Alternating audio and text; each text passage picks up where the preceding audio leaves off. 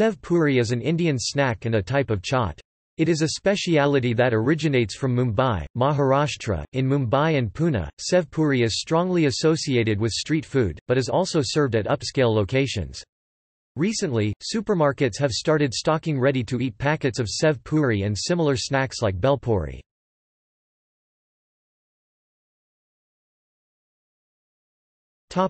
Preparation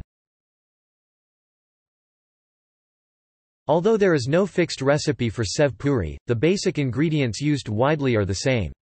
Sev puri is essentially made of puri which is loaded with diced potatoes, onions, three types of chutneys, tamarind, chili and garlic and topped with sev.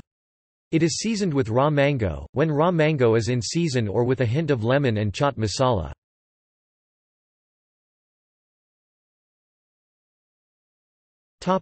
Variations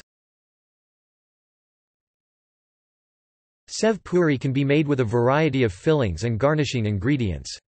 Some popular variations are dahi sev batata puri, sev puri with dahi and potato, palak sev puri, sev puri with spinach, and corn sev puri.